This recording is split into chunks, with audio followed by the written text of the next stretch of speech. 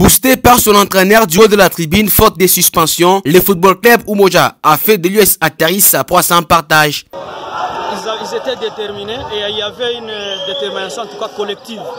Ce n'était pas individuel, c'était une détermination collective. C'était mentalement bon.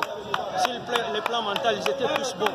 Dans un match comme tant pour la 27e journée de l'entente urbaine de football de Lubumbashi, l'équipe vert a été le premier à trouver le chemin du but dès la 27e minute. Chulumbandala dépose le cuir au fond du filet après une combinaison à 3.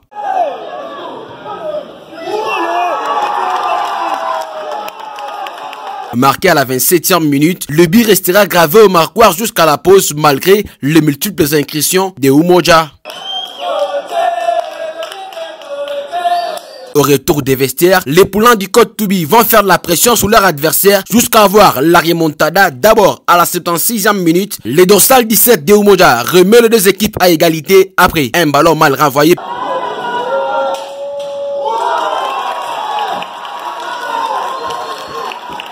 Le même joueur revient 8 minutes plus tard, soit à la 86e minute, pour inscrire le deuxième but de Umoja, but de la victoire, dans demi-volée. Kibasa Maliba est en feu.